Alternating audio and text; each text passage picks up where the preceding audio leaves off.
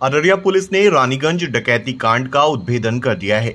इस मामले में लूट के सामान के साथ छह अपराधियों को गिरफ़्तार किया गया है। गौरतलब है कि 17 सितंबर को रानीगंज के काला बलुआ गाँव में अपराधियों ने मक्का व्यवसायी के घर पर धावा बोलकर डकैती की वारदात को अंजाम दिया था, जिसके बाद अररिया एसपी ने मामले का खुलासा करने के लिए पुलिस की विशेष टीम का गठन किया था।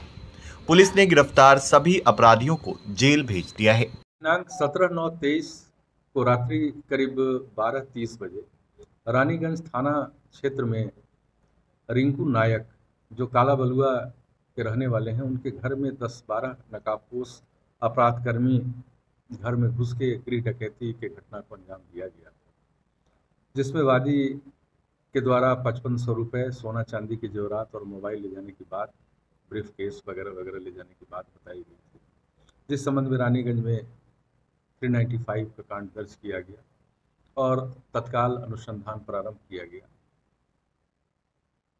इस कांड को तकनीकी अनुसंधान के आधार पर उद्भेदन किया गया है।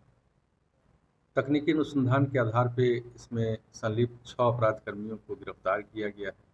गिरफ़्तार अभियुक्तों के स्वीकारोक्ति बयान और निशानदेही के आधार पर कांड में लूटा गया चांदी के सभी जेवरात स्टील के बर्तन वादी का ज़मीन का केवाला जो उसके बैग में था, जो चला गया था, रसीद वगैरह, लूटा गया मोबाइल, लूटे गए कपड़े जो केस में कपड़े थे वगैरह वगैरह बरामद हुआ और तीन हज़ार रुपये भी बरामद हुए जिसे जब्त किया गया है।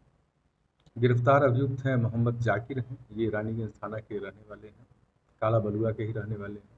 प्रकाश ऋषिदेव परिहारी, वार्ड नंबर सात, रानीगंज के रहने वाले हैं। सुमन कुमार पासवान, जो बर मोतरा भरगामा के रहने वाले हैं। मनोज शाह, जो छतियोना, रानीगंज के रहने वाले हैं।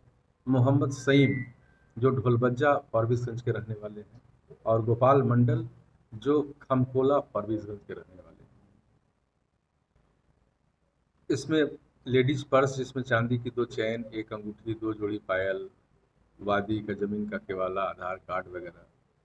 तीन हज़ार रुपये तीन फीट लंबा लोहे का खंती, तीन फीट लंबा दो मोटा बाँस का डंडा जो घटना में दरवाज़ा तोड़ने वगैरह के लिए प्रयोग किया गया था, वह भी बरामद किया गया है। जो लूटे गए कपड़े थे, जिसमें कई तरह के कपड़े थे, वह सब बरामद किया गया है।